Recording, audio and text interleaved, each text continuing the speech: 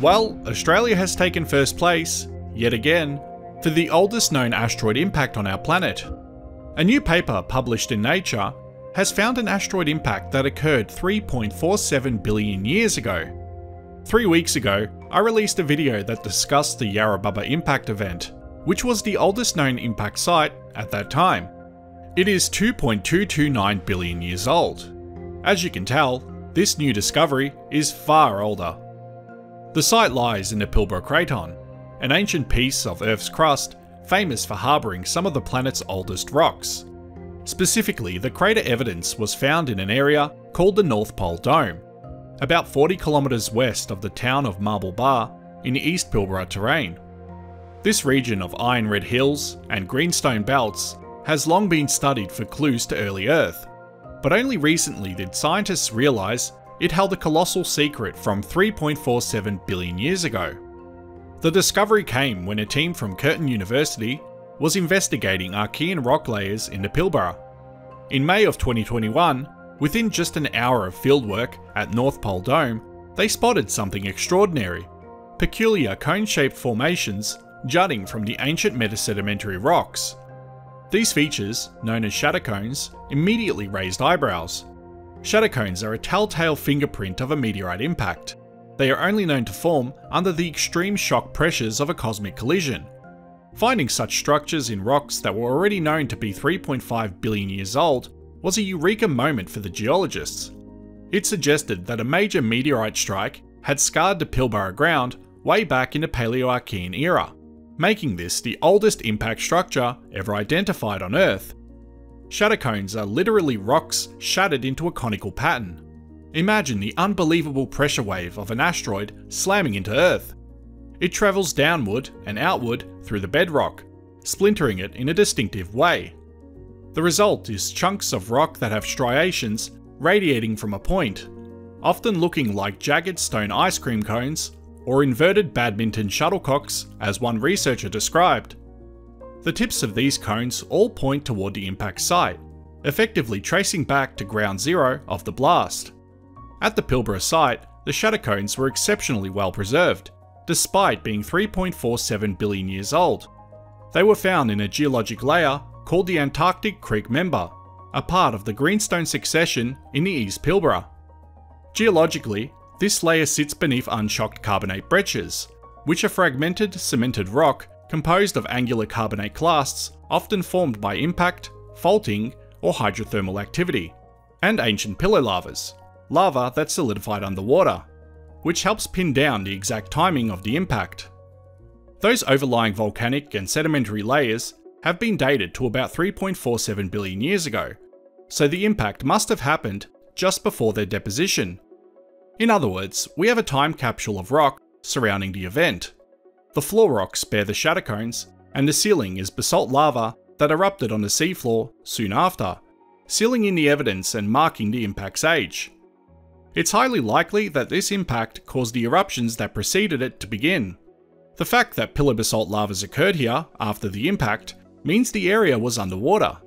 This means a mega tsunami would have been generated by the impact. The presence of shatter cones is unequivocal evidence of an ancient impact. This discovery answered a long-standing question. Could any impact craters have survived from Earth's early Archean eon? Until now, the oldest confirmed crater was the 2.23 billion year old Yarrabubba structure, but the Pilbara finding blows past that record by over a billion years, proving that bits of Earth's deep past impact history are still recorded in the rocks. Don't forget to click on that subscribe button, hit the bell icon, and like this video, as it's the best way to support this channel. And if you enjoy it, consider sharing it around. Shatter cones weren't the only evidence. In the same rock unit, scientists also identified spherules, tiny rounded particles that are relics of vaporized rock. When a meteor hits with enough force, it can instantly melt and vaporize part of the crust. The molten droplets thrown into the air cool and solidify into small glassy beads that rain back down over a wide area. These millimeter scale glass spheres get locked in sediment layers, forming what geologists call spherule beds.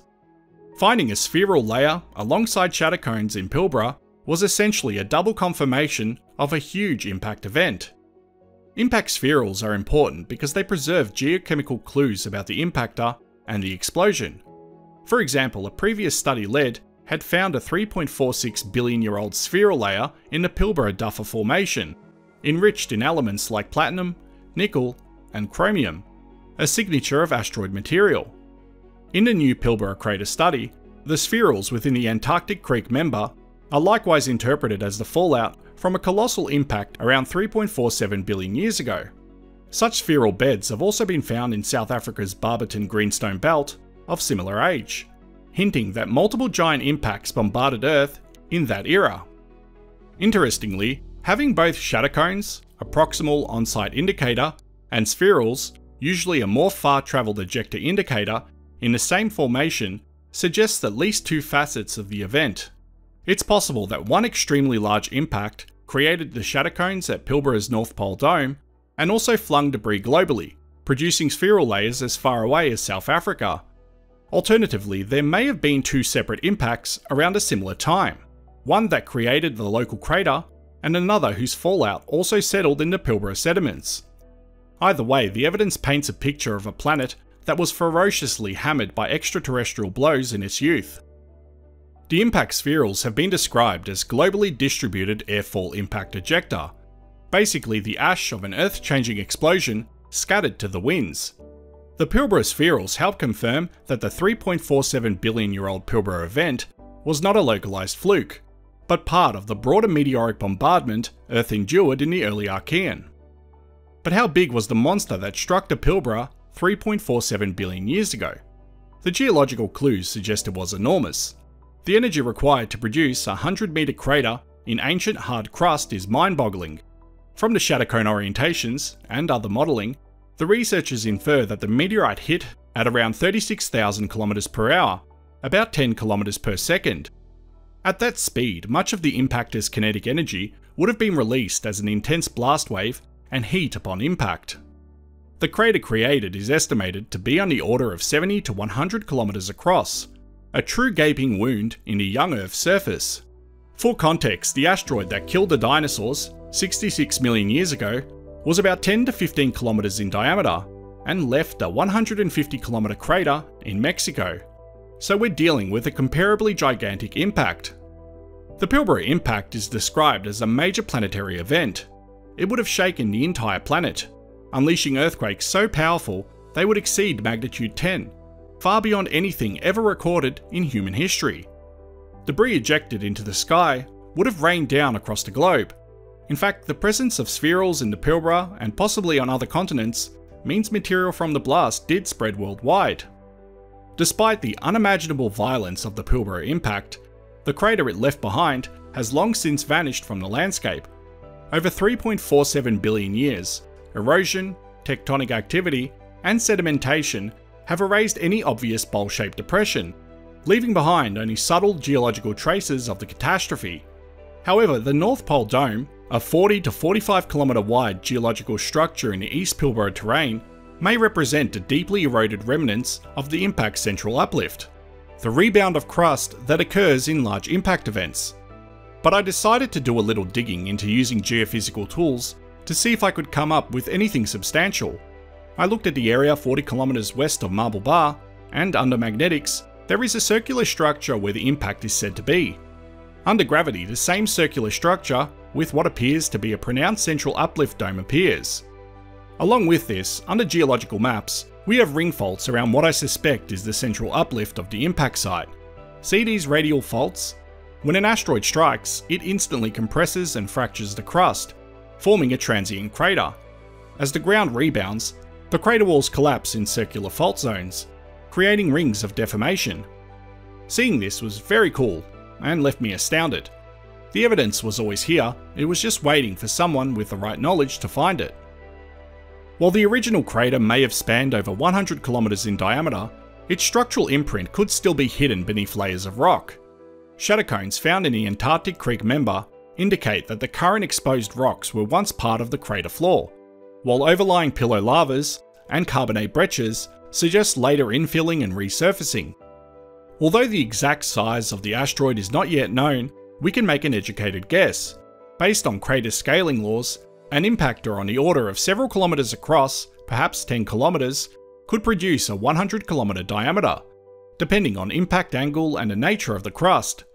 Some scientists have speculated that impacts in the mid-Archean could even involve objects tens of kilometres wide. In one documented case, a 25 kilometre impact around 3.46 billion years ago was hypothesised from spherule evidence, which would have left a crater hundreds of kilometres wide, though this impact is yet to be confirmed, unlike the Pilbara one. So while the Pilbara impact may not have been quite that cataclysmic, it was certainly among the largest known in Earth's history. The world in which this gigantic impact occurred was starkly different from today's Earth. We're in the Paleoarchean, roughly a billion years after the planet formed. Geological studies indicate that around 3.5 to 3.47 billion years ago, Earth's surface may have been dominated by ocean with only a few small proto-continent landmasses poking out. The Pilbara Craton itself was one of those early continental fragments, essentially a cluster of volcanic islands or domes that had solidified out of Earth's primordial crust. This was long before any land plants or even algae. The only life, if present, was microbial. In fact, 3.47 billion years ago is around the time we find the earliest evidence of life on Earth. Fossilised microbial mats, stromatolites, have been discovered in Western Australia, dating to about 3.48 billion years ago. Another geochemical sign suggests life was emerging by 3.5 billion years ago. These primitive life forms lived in the oceans, perhaps around hydrothermal vents or shallow reefs, and were anaerobic, meaning they did not require oxygen. It's sobering to think that while these pioneering microbes were eking out a living, a mountain sized rock from space suddenly plunged into their world. The impact would have had global consequences, even in an oceanic world. Immediately, it would send towering tsunami waves rippling across the seas. A blinding fireball would heat the sky, and molten rock droplets, the spherules, would rain down far and wide. The explosion would eject millions of tons of pulverized rock and dust into the atmosphere, which would have darkened the skies worldwide. For days, maybe weeks, the sky might have glowed from falling debris, and for years after, a veil of dust could have altered the climate.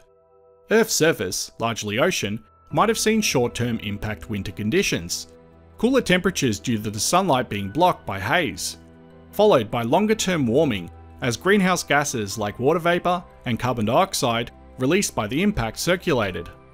Beyond the immediate cataclysm, a collision of this scale would leave lasting marks on Earth's geology and potentially its atmosphere. The Pilbara impact didn't just punch a hole in the ground, it would have shaken the crust and mantle beneath. Models of large impacts suggest that such events deliver enormous thermal energy to the planet's interior, Upon impact, much of the meteor's kinetic energy is converted to heat, creating a superheated zone in the crust and upper mantle. In the case of the 3.47 billion year impact, the floor of the crater would have been composed of shattered, melted rock, with temperatures soaring for some time after the event. The impact would have also created a substantial hydrothermal system. Once the dust settled, literally, the newly formed crater basin would have been a hotspot both geologically and figuratively. Seawater or groundwater rushing into the deep, hot crater would heat up and circulate, likely forming networks of hot springs. These would be analogous to the hydrothermal pools and vents we see in places like Yellowstone or in mid-ocean ridges, but on a gigantic scale. Such post-impact hot pools could last for thousands of years, leaching minerals from the rocks and creating rich chemical brews. While no specific economic ore deposit has yet been directly tied to the Pilbara impact, geological evidence strongly suggests it could have influenced regional mineralisation. Further studies of the carbonate breccias and impact melt rocks could reveal whether the event contributed to gold, nickel, or iron mineralisation. Intriguingly, scientists think impact craters can be cosy habitats for microbes once things cool down a bit. Impact craters potentially created environments friendly to microbial life such as hot water pools that could have helped life get started. In the early Archean, life was only microbial, so a crater's aftermath, warm water circling through fractured rocks, bringing up nutrients, might have been an oasis for early life to thrive or even originate.